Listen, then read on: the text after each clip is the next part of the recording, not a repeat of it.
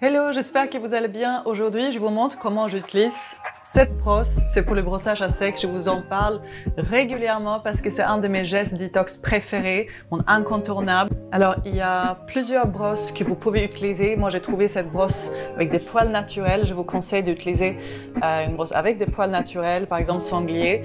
Euh, il y a des poils plus ou moins durs, donc trouvez quelque chose qui correspond à votre peau, bien sûr. Il faut pas que ça soit trop dur, mais pas trop euh, doux non plus, pour qu'il y ait un peu d'effet.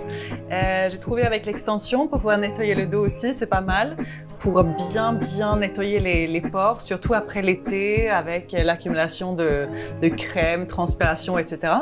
Et souvent, ce genre de brosses sont assez pratiques parce que vous pouvez détacher euh, l'extension comme ça et après utiliser uniquement la brosse pour faire le, le brossage à sec euh, général. Le matin, ça va vous apporter plein d'énergie, en plus du fait que ça nettoie le corps, ça débarrasse le corps des toxines, des, des déchets métaboliques. Euh, le soir, ça va détendre le corps, euh, ça va vous aider à détendre les muscles. C'est extra après aussi une séance de sport. Euh, ça lutte contre les courbatures et tout ça. Donc vraiment, outil topissime. Bien sûr, ça booste la microcirculation, circulation générale, euh, qui favorise une plus belle peau, qui favorise une meilleure santé globale. Euh, N'hésitez pas de vraiment prendre le temps pour faire le brossage à sec avant la douche, donc sur une peau sèche. Euh, si vous le faites trop rapidement, ça a évidemment moins d'effet. Donc euh, restez 5 minutes si vous pouvez. Je vais vous montrer comment faire par zone sur le corps, comment on commence euh, et comment il faut procéder pour vraiment avoir un brossage à sec efficace. On commence avec le bas, on commence avec les pieds. Donc avec des mouvements circulaires, on va brosser la peau et on travaille vers le haut, vers notre cœur. Vous restez dessus, mouvement circulaire. Là, je vous fais ça un peu plus rapidement, évidemment, mais chez vous, vous allez prendre le temps de faire ça. Et donc, par zone, vous allez insister avec l'appui, pas trop fort si vous avez la peau sensible. Vous allez vite vous habituer, en fait. Si vous commencez avec cette technique, au début, ça peut, euh, voilà, être un peu touchy. Peut-être on a la peau un peu plus sensible, mais on s'habitue très, très vite et ça devient même euh, très, très agréable. Donc, l'intérieur de la cuisse, dessus, à l'extérieur. Donc top, comme je disais, pour booster un peu la circulation à ce niveau-là et débarrasser les cuisses des cellulites peau d'orange. Donc vous montez sur les fesses. Là, je ne vais pas me déshabiller pour vous montrer ça, mais vous voyez l'aider. En tout cas, l'intérieur de la cuisse aussi. Ça va débarrasser la peau des cellules mortes. Donc vous allez avoir une peau beaucoup plus douce aussi, euh, beaucoup plus belle quand on débarrasse la peau des cellules mortes, euh, vous allez mieux profiter aussi des soins hydratants après. Ça va être mieux absorbé.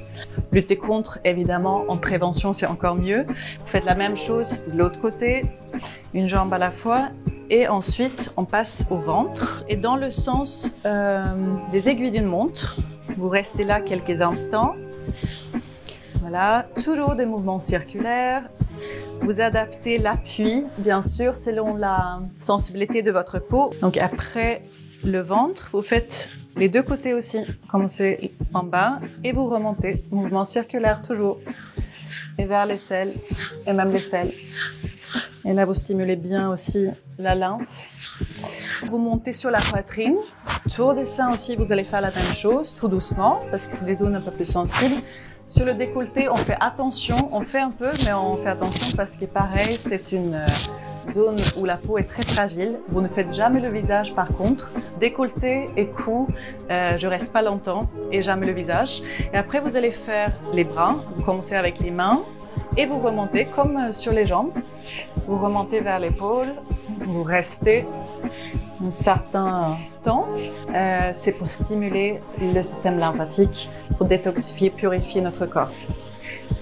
La lymphe a besoin d'être stimulée tous les jours par euh, la bonne respiration, par le mouvement et par ce genre de technique. L'épaule, ensuite, bien sûr. Les deux épaules, vous faites la même chose de l'autre côté. Et puis le dos, qui est une zone évidemment plus difficile à atteindre. Mais vous commencez ici. En tout cas, c'est comme ça que je fais. Ça fonctionne plutôt bien. Euh, vous changez l'autre côté. Moi, je fais ensuite là, comme ça. Si vous avez quelqu'un avec vous, vous pouvez demander de l'aide pour le dos, bien sûr. Et ça aide aussi d'avoir l'extension sur votre brosse pour continuer à brosser comme ça.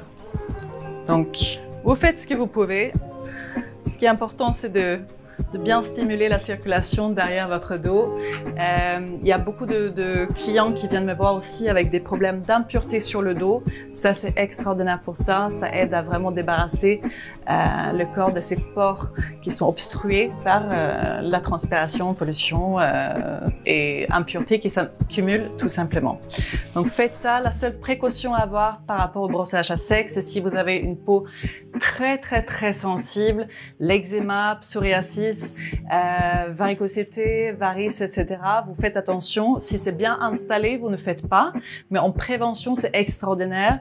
Euh, si vous avez par exemple des varices sur les jambes, n'hésitez pas de faire le, brossage à sec plus haut sur le cuisse, là où c'est pas encore installé, et sur le reste du corps, parce que ça aide à avoir une bonne euh, circulation de manière générale pour euh, lutter contre ces, ces maux-là. Je vous encourage de le faire tous les jours vous pouvez le faire en cure, vous pouvez le faire quelques fois dans la semaine, trouver un rythme qui vous convient. Mais évidemment, plus vous allez pratiquer, euh, plus vous allez voir des résultats, notamment au niveau de, euh, de la bonne circulation tous les jours et euh, la détoxification. Et aussi, si vous travaillez sur la cellulite, c'est vraiment une fois par jour qu'il faut le faire en cure. Je vous souhaite une très belle journée. À bientôt. Ciao.